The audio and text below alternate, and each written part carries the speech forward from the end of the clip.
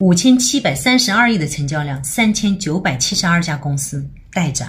机构面对这样的行情，也得忍痛割肉十个亿啊！今天有家一百五十多亿流通市值的公司跌停板放了两倍的量，按照这个量呢，机构一定是割肉跑掉了。这家公司呢是三月份完成了定增，发行数量在八点九三亿股，发行价呢是五块九毛二，募资总额呢大概有五十三亿。那个时候啊，股价是七块二左右，今天的价格呢跌到了四块七毛八，加上今年每十股派了零点五元，定增机构的浮亏大概超过了百分之十八，所以今天跑掉啊，浮亏大概有。十个亿，看到了没有？面对这样惨无人性的行情啊，机构一样被收割。现在还有一个更严重的问题是质押平仓风险。之前质押的老板们，股票快跌到平仓线了，没钱补仓了，一旦穿仓的话，机构一抛，那问题就更大了。现在。大家还是不要轻易的去抄底。对于业绩不确定的民营企业、徒有其表的这些科技类公司、分红不确定的公司、老板质押的公司、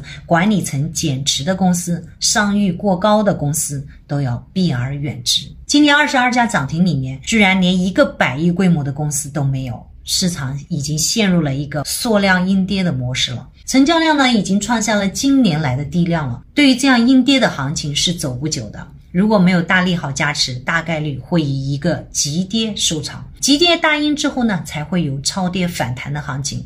当然，我还是希望国家队能出手，因为不救就只剩一条路了。而大多数散户都会在急跌当中绝望的交出筹码。我希望你们不会是那其中的一个。